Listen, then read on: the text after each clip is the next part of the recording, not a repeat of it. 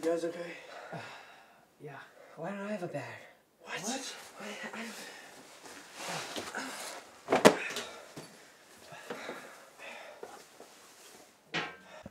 Yeah.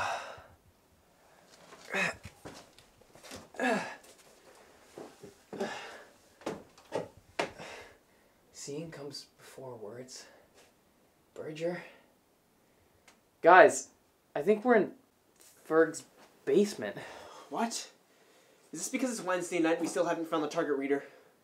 I still haven't done the last project. I have an incomplete in the class. Wait, really? Yeah. Alright, so clearly Ferg isn't going to let us out of his basement until we either come up with pants with penis cleavage or we identify the target reader. So let's get to work. Alright. I just, I just don't get, because like you got a bag and you got a bag. I just don't get why I didn't. Maybe he just Bag. ran out of back. It He doesn't. doesn't. What? Bird doesn't run out Whoa, of whoa, whoa, bags. whoa, guys, guys, guys. Really? Is this what we're arguing about right now? We need to get this done. Wait, which one? The, the penis cleavage or the project? The project! The project, you moron! Come on, seriously? All right. Do we, do we even have like a magazine?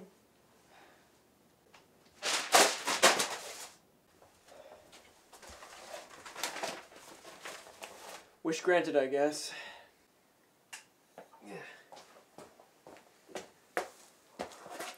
Okay, so who reads Car and Driver? That's who. What we need to find out. Who reads magazines? Uh, not us, apparently.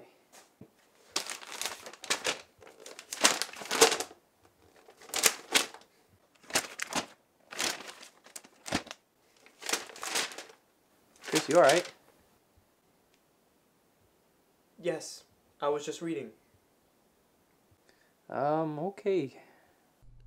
So now we're gonna create the target reader. Ugh, really? Why me, dude? Just, just go with it. Okay, fine. Let's start with the car, bro. Wait, wait, wait, no, no, no. Let's do the, the, the grease Monty. Let's do that.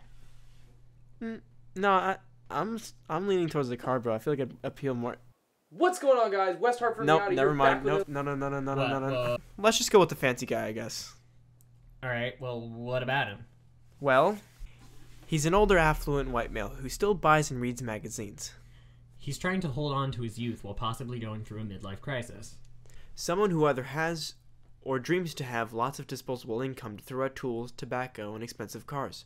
Rarely do we ever see reviews of affordable cars, just sports cars, or even supercars. All of the content in the magazine upholds traditionally masculine values. The articles are almost all written about expensive sport cars, written in typically overconfident tone and described in fetishistic detail. The ads are mostly for car, tobacco, and workwear companies. They use language that adheres to the tough guys. They value independence and self reliance, preferring to fix their cars themselves. After all, manly car enthusiasts don't need to take them to the shops. Also, this demographic cares much more about how the car looks and drives, and much less about its efficiency or practicality. The louder and faster, the better. So let's get into the specifics of what we're talking about here. The first ad, Skinny Legs and All, clearly shows an older man, presumably of an affluent background, based on the fact that he's driving an expensive sports car. It shows this man trying to bring back his youth by driving a fast car and wearing young person apparel. The phrase skinny legs and all denotes an image of extensive wealth based on the fact that skinny legs was once a desirable trait amongst royalty and affluent in the past centuries. It meant that you were wealthy enough to do little work for yourself because you had others to do so for you.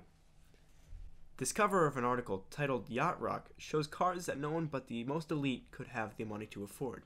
Basically, the magazine appeals to traditionally masculine readers who either genuinely believe in or want to look like they believe in stereotypical masculine ideals, such as aggression, power, strength, wealth, and self reliance. This is otherwise known as The Tough Guys. I think we've done it. Yeah, I think so. Ferg? Ferg! Ferg, can we come out now? Ferg! Ferg! Ferg? Ferg!